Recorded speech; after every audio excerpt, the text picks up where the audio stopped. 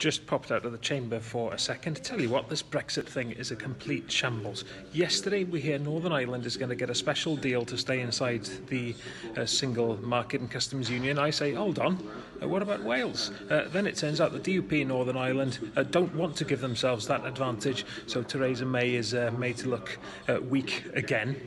Anyway, I'm concerned about what this means, uh, the Irish question for us, not just in Wales, but in Anglesey and specifically the port of Holyhead. You know, what happens there with the hard border has a direct significance for us and the thousand jobs that rely on, on, on Holyhead.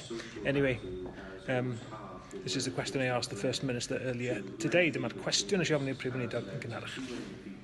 Rhina Piorwerth diolch yn fawr iawn, uh, Llywydd. We've seen over the past 24 hours the prospect of uh, one part of the UK getting a unique deal, and uh, I reiterate that we in Plaid Cymru want uh, Wales too to be able to benefit from any kind of distinct or special arrangements uh, that would allow us also to be in uh, the single market and the customs union. Now, nobody in their right minds uh, would want uh, to see a hard border on Ireland. I know the First Minister agrees with me uh, on that, but shifting a hard border uh, eastwards uh, is not a solution that would work for Wales and certainly not for my, my constituents and the port of Holyhead.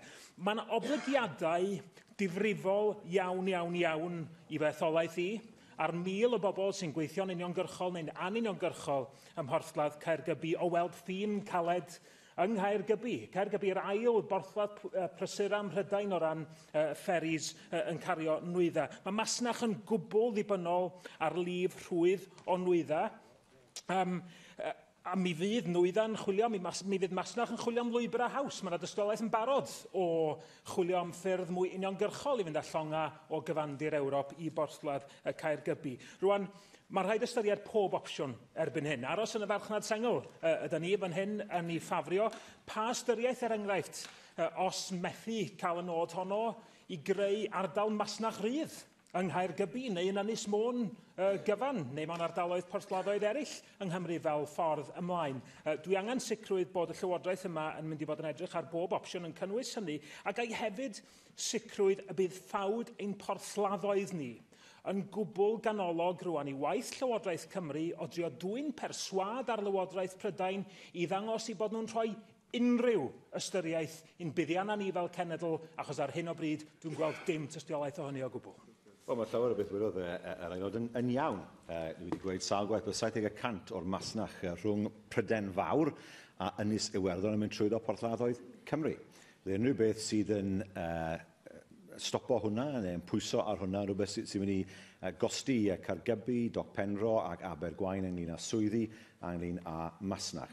Beth yw'r ateb? Mae'r ateb i fi'n gwybod clir, sef uh, dylai'r dylan synedig i aros yn y farchnad sengl, Uh, a hefyd wrth gwrs i aros yn yr undeb tollau. Felly wrth gwrs bydde ddim eisiau cael unrhyw fath o, uh, o ffin ynglyn â tollau uh, rhwng uh, Pryden a Iwerddon neu rhwng Gogledd Iwerddon a Gwiriniaeth Iwerddon. Dyna beth yw'r ateb, a, a dyna beth wrth gwrs ni wedi bod yn gweud wrth, uh, wrth uh, Llywodraeth Dan Senedig, bod does dim rhaid dehongli canlyniad llynedd fel uh, canlyniad uh, uh, sydd yn ganlyniad i gael y Brexit mwyaf caled sy'n sy bosib. Mae'n holl, mae holl bosib i adael yr undeb Ewropeaidd, ond mewn ffordd sydd ddim yn peryglu swyddi yng Nghymru a sy'n sicrhau bod ni'n gallu gwerthu yn y farchnad sengl a bod yn rhan o'r undeb tollau.